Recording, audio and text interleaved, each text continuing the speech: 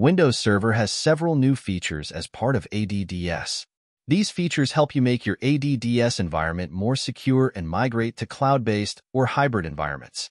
Privileged Access Management Privileged Access Management, PAM, is based on Microsoft Identity Manager.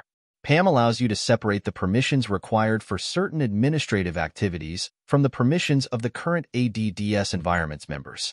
With PAM, users request permission to perform activities that require privileged access instead of having that access granted on a permanent basis. Granting those permissions can mean that you should provide additional authentication steps, such as multi-factor authentication. When the user is gains access, the access is granted on a temporary basis through a shadow group in a Bastion forest. The Bastion forest is meant to be devoid of any access from hackers or any stolen credentials of privileged users.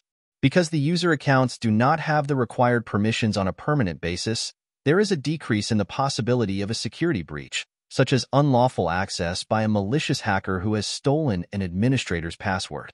Azure AD Join Azure Active Directory Join, Azure AD Join, supports connecting on-premises, domain join devices to Azure AD for improved cloud-only and hybrid environments. For corporate-owned devices, users no longer need a personal Microsoft account. Azure AD also supports connecting devices that normally cannot join an on-premises domain, such as mobile devices. Users can access the Windows Store with their on-premises accounts and even with their personal devices.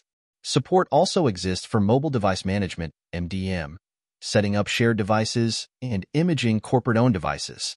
Microsoft Passport ADDS and Windows Server supports Microsoft Passport, which provides a certificate-based approach to authentication that can replace the use of passwords.